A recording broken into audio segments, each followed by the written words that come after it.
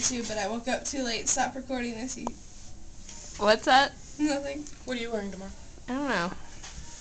But I always look good, so.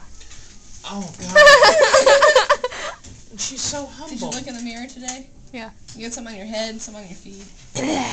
Yeah, I'm not wild about those boots. Yeah, What are nobody you, is. Nanook from the north?